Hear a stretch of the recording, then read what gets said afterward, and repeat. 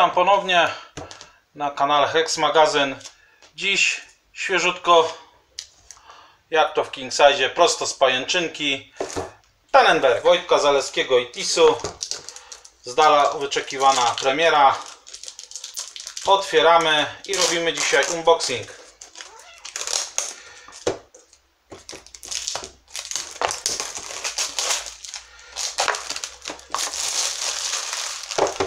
I oto mamy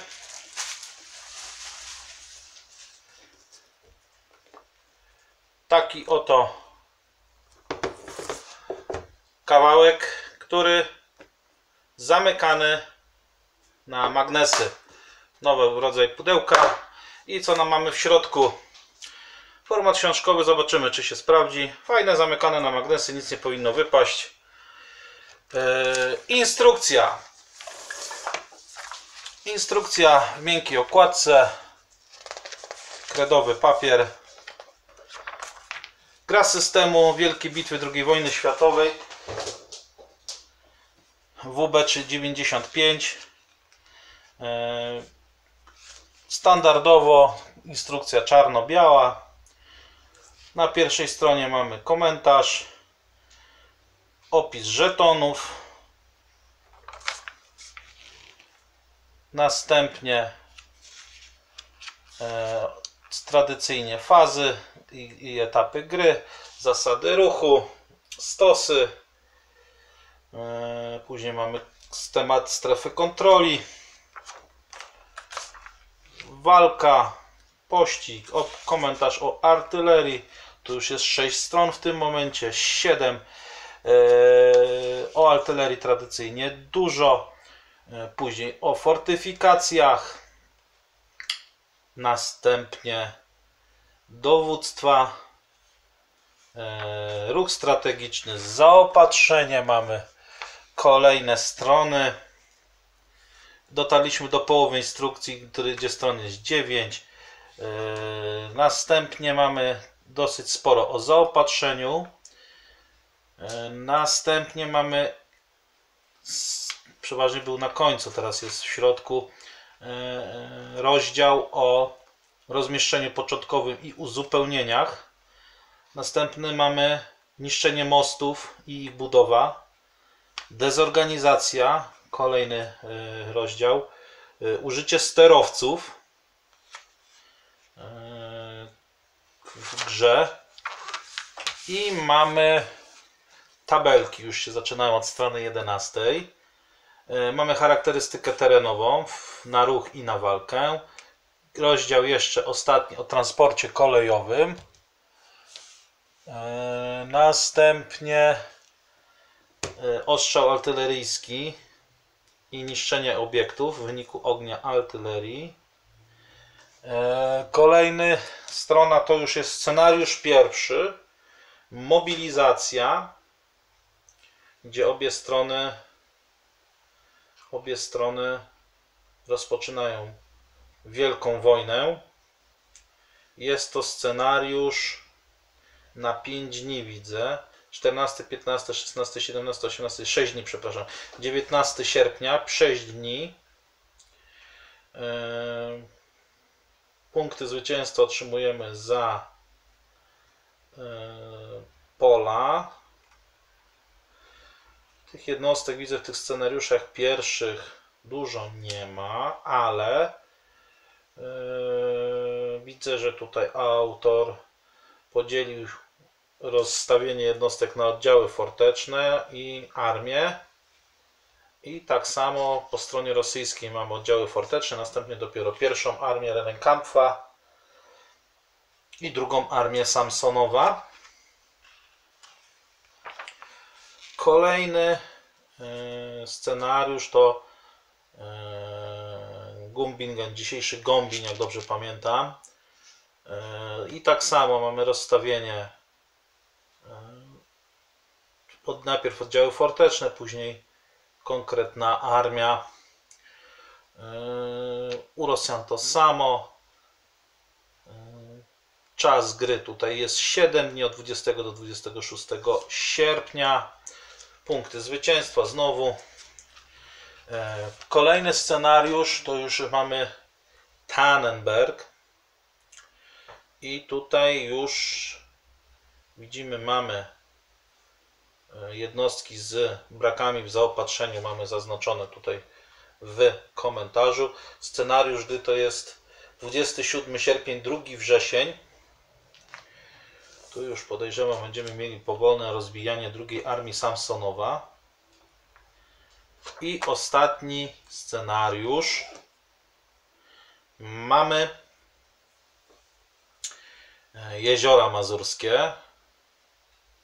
Jest to scenariusz obejmujący okres od 3 do 12 września. W związku z tym podejrzewam, że możemy rozegrać całą rozgrywkę. Eee, bo widać, że jest podział na poszczególne scenariusze. Podejrzewam, że można rozegrać jako całość. Eee, I tutaj szkoda, że nie jest to osobna kartka. Ten kalendarz uzupełnień. Z tego względu, że na drugiej stronie mamy tabelę dezorganizacji i tabelę walk. I tradycyjnie zamyka się reklamą, chociaż mamy tutaj legendę do mapy. Legendę do mapy i mm, opis systemu, w którym zostały wydane gry e, wydawnictwa TIS Wojtka Zachowskiego. Następnie co mamy? No niestety mamy planszę żetonów do wycięcia. Widzę, że zmienił się papier ze śliskiego nakła- e, okrywanego folią na śliski kredowy. E, No niestety trzeba powycinać e, mosty, umocnienia polowe, e, ruch strategiczny i żetony dezorganizacji jednostronne. Do gry, co się chwali, dołączona kosteczka sześcienna. Całkiem niezły. Całkiem niezły materiał. I dwie, oj. I dwie karty jednostek. Eee, Błękitne to wojska niemieckie. Żółte, takie piaskowe, już się wysypały żetony. To jednostki rosyjskie. Również są część żetonów pomocniczych jest wydana w formie e, grubościennych żetonów, co moim zdaniem też się chwali. Ja to sobie tu upchnę, później sobie będę wybierał. Jeden żeton gdzieś mi tu uciekł. Znajdziemy. I kolejna saszetka z, do wyrwania to jednostki rosyjskie, podzielone kolorami widzę na armię, jedną, drugą i tutaj bodajże jeszcze posiłki. Yy, Mamy też żeton etapów tutaj do wypchnięcia. Skala jednostek to jest brygada, pułk, ewentualnie yy, dywizji jako całych nie mam, ewentualnie są garnizony. Już się żetony wysypują, niestety. I teraz przejdziemy do tego, co, na co wszyscy czekali, bo już były zdjęcia na stronie TIS. Mapa. Mapa wydana na podobnym papierze co żetony pomocnicze. Dwuczęściowo, standardowo w wydawnictwie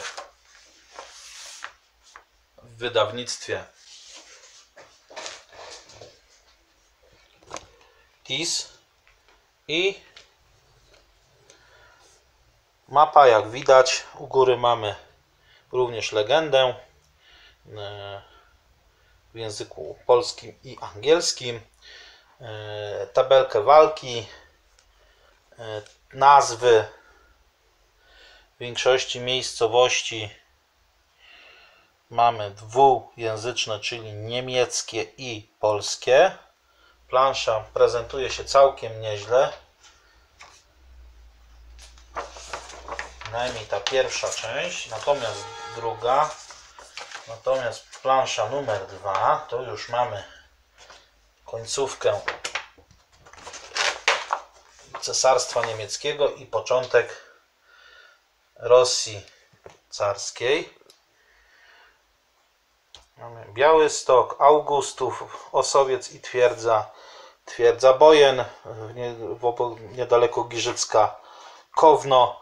Plansza różni się do tego, co pamiętamy z wydania Dragonowskiego. Jeziora, część tych większych, najbardziej znanych, czyli Śniadrwy, Niegocin i Mabry, mamy nazwane. E, Jest granica tutaj, słabo zarysowana, ale mamy granicę między Cesarstwem Niemieckim a Rosją carską. E, Plansza prezentuje się całkiem nieźle. E, Na dole mamy na dole mamy czas walki. Jednakże urywa się, widzę, na drugim e, września. I raczej. Aha, tu jest u góry jest końcówka dalej. E, Tak to rozwiązano. E, Plansze wydane nieźle. Myślę, że wytrzymają sporo, a jeżeli byśmy nawet pokusili się pod grę pod pleksą albo pod szkłem, to powinna wytrzymać długo. Numeracja na polach standardowo od góry na dół. Yy, zaczynając tam chyba od 1000, jak dobrze pamiętam, tam tak? Będzie 1000, od 1100. Zaczyna się, nie, od 1000 będzie się zaczynało. Tak, od 1000 będą zaczynały się pola i standardowo z góry na dół yy, każda kolejna rajka będzie się przesuwać o 100. Yy, Numeracja jest w miarę czytelna. Na polach, gdzie jest niewidoczna, jest naniesiona białą czcionką, tutaj czarną.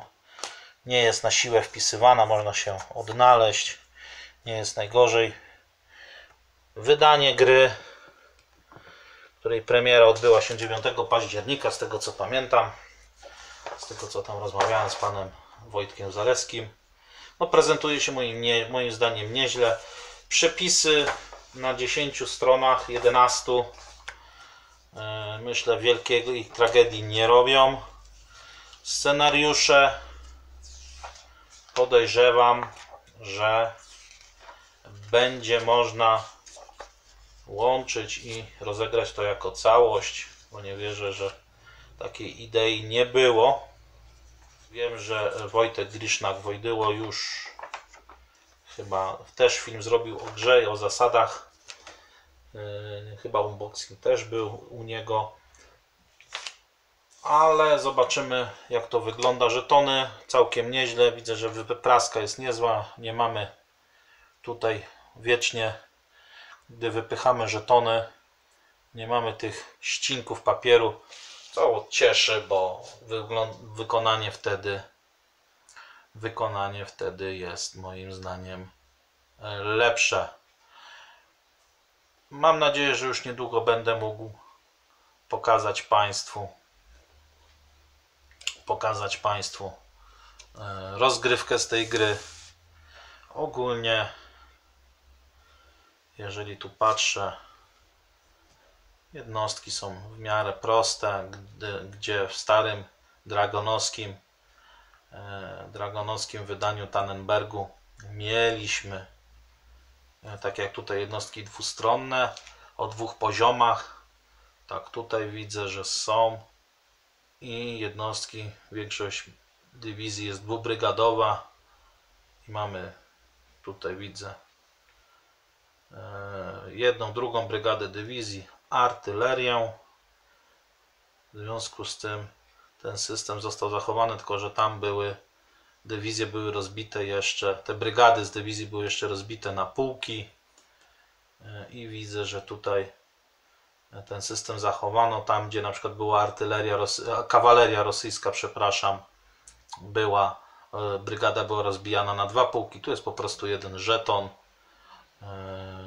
piechota porusza się 3 punkty ruchu, kawaleria 5, artyleria podejrzewam, że też 3 punkty ruchu, 2, Widzę tutaj dwa punkty ruchu się artyleria porusza, ponieważ ma e, dwa, d- m, dwa rodzaje e, zaprzodkowana i odprzodkowana. W związku z tym albo, albo się poruszamy, e, albo walczymy.